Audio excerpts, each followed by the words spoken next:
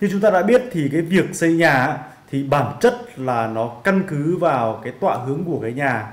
Bởi làm sao tại sao làm sao lại như vậy? À, cái căn nhà khi mà được xây lên trên một cái thửa đất thì nó được kết hợp bởi thiên khí, bởi địa khí và nhân khí hòa hợp. Cho nên thành ra là người ta căn cứ vào thiên khí xem là năm nay hướng đó có đắc thiên khí có vượng hay không.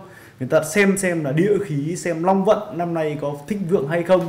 Và nhân khí ở đây là xem là trong gia đình có được sự hòa hợp, thống nhất của các thành viên trong gia đình của chính quyền địa phương hay không thì người ta sẽ quyết định để xây một cái nhà. Nhiều anh chị lầm tưởng rằng là cái việc xây nhà là căn cứ vào cái tuổi của anh chị.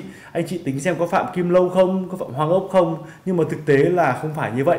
Cái việc mà tính xem anh chị có phạm kim lâu không, có phạm hoang ốc hay không để quyết định xem là anh chị có phải là nên là người động thổ hay không rất nhiều anh chị à, là khách hàng của phong thủy tam nguyên đã bỏ lỡ những cơ hội về những cái năm rất là vượng. Ví dụ như năm 2020 năm canh tí chẳng hạn, những căn nhà bắc nam là đại vượng, đúng không ạ? Và năm 2021 tân sửu chẳng hạn, thì những cái căn nhà đông tây, tức là tọa tây hướng đông và những căn nhà tọa hướng đông nam, hướng tây bắc là đại vượng. Nó vượng đến mức mà sau 10 năm tiếp theo mà chưa có cái năm nào tốt hơn là cái năm nay cả.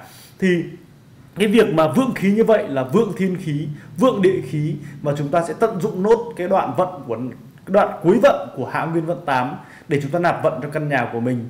Cho nên thành ra là cái việc quyết định xem cái căn nhà có được xây dựng hay không thì người ta căn cứ vào vận thiên, tức là vận khí, căn cứ vào vận đất, tức là căn cứ vào tọa hướng của căn nhà để mà quyết định.